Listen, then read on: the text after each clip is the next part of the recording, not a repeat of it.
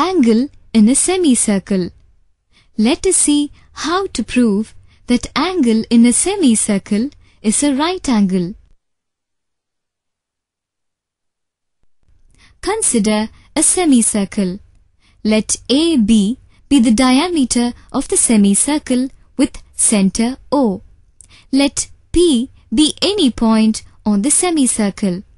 Next, let us join AP, OP and BP.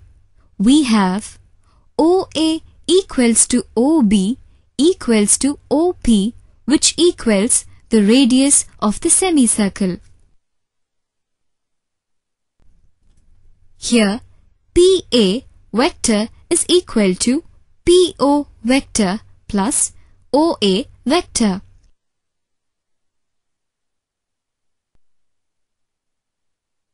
Similarly, PB vector is equal to PO vector plus OB vector. We can write PB vector as PO vector minus OA vector. Now, PA vector dot PB vector is equal to PO vector plus OA vector dot PO vector minus OA vector.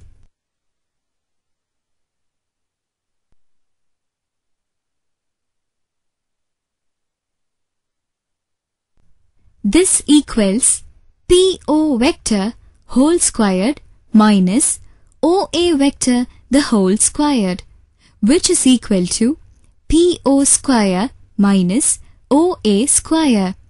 This equals 0 since PO is equal to OA.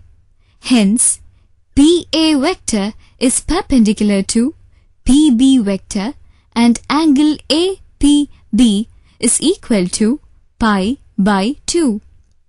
Therefore, we conclude that the angle in a semicircle is a right angle.